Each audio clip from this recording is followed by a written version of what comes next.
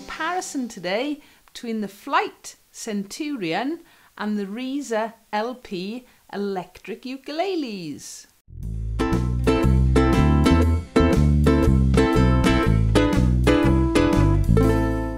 So it's been a little while since I've done a comparison between electric ukes, but with Flight so kindly lending me some instruments recently, including this gorgeous so I'm just looking at the light catching it. This gorgeous Flight Centurion. I thought I really needed to do a comparison with the Risa because look how similar they are. So the Risa was actually my first solid body electric ukulele steel string one. Okay, um, and I've had it a few years now this one, the flight came out after the Risa, so I never really looked to get this because as you can see, they're quite similar. So today I'm going to see exactly how similar they are, not just in look, specs and features, but also what they sound like.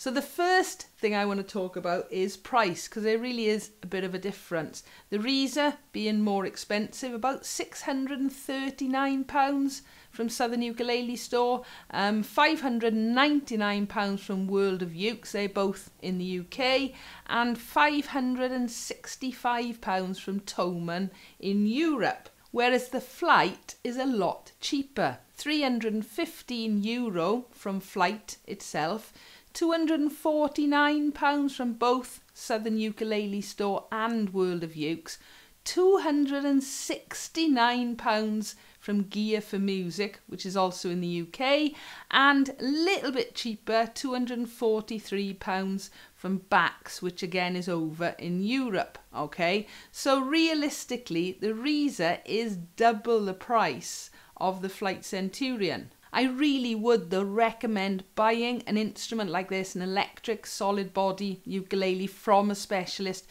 because you know they're going to be set up properly. So the specs and features, I'm just going to go through what's the same to start with, alright, because there's an awful lot of them. Most obvious being the shape. They're both based on a you know a Les Paul from Gibson. Uh, they're both tenor size. They've both got arched tops, which really are gorgeous to look at, and they've both got a gloss finish. The bodies, they both have a really nice binding going around the edge. They're both solid mahogany, if I just go like that for a minute, okay? They've both got mahogany necks as well, and of course the headstocks. And if I flip the headstocks around, you can see they're both black. They've both got the same pickup configuration.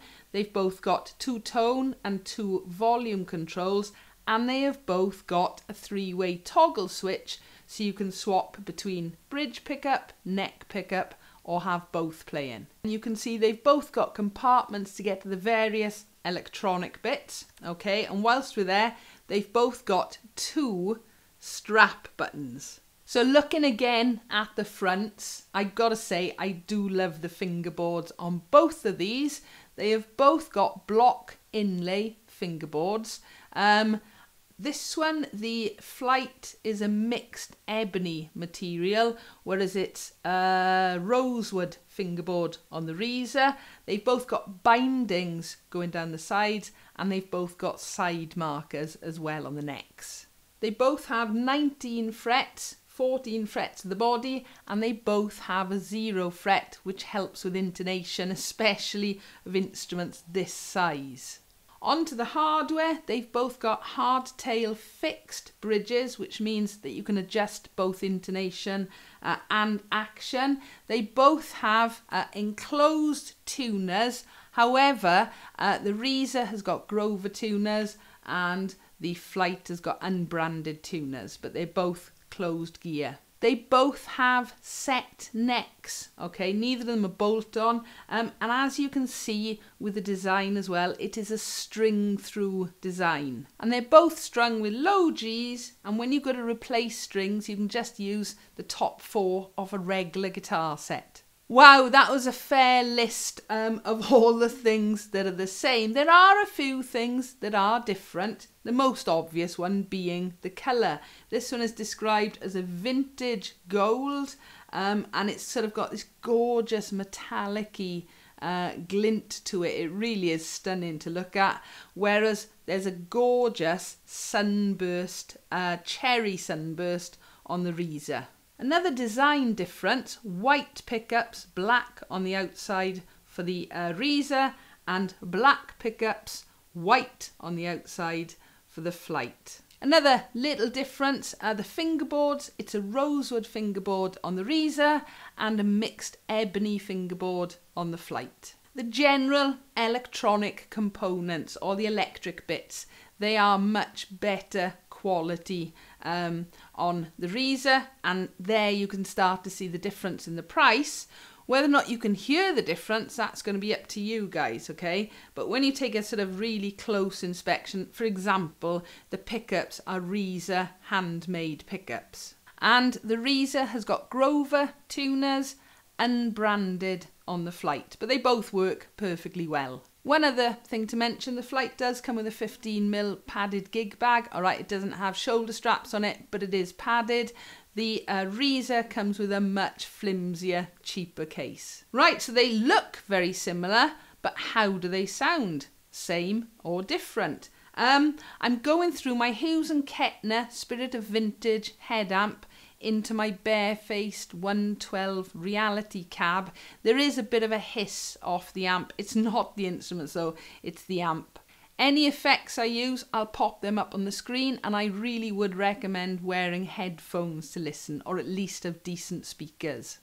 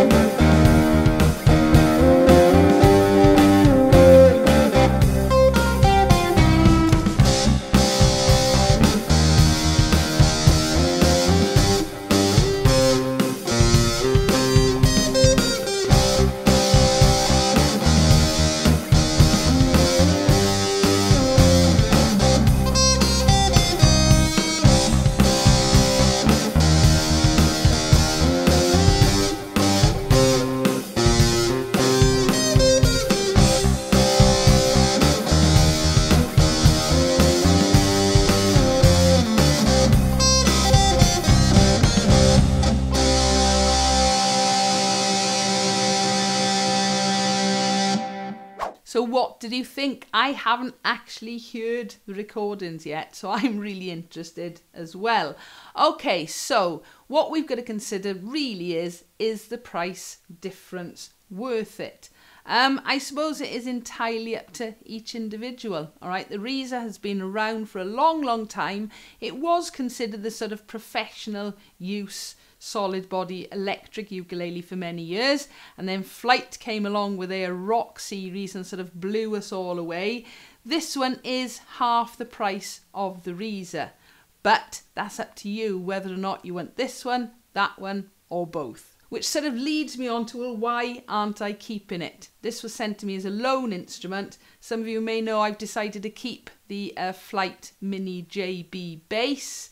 Um, why aren't I keeping this one? I can't justify it. There is nothing wrong with this instrument at all. It's just, I think I've already got about four or five solid body electric ukuleles. I am a bass player. I like playing the electric ukuleles, don't get me wrong. I'm not very good at it, um, but I just don't spend the time playing these as I play the basses. I'm, I'm guessing if this one had come out before the Risa, and this has been out years, I probably would have ended up buying this one. Okay, again, whether I'd have ended up with two, I don't know, but that's the only reason I'm not keeping this. I just can't justify it. It is gorgeous, though, and I've had brilliant fun playing it. Sorry, I was just enjoying the gold glint of this one final time because it really has been great fun.